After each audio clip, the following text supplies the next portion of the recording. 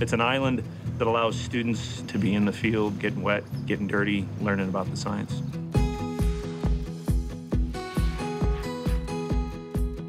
Stone Lab is an Ohio State University owned island in the middle of the western basin of Lake Erie. The research, the education, the informal outreach that we're doing here is, is not just for this island, it's not just for this lake, it's for the state of Ohio, it's for the region.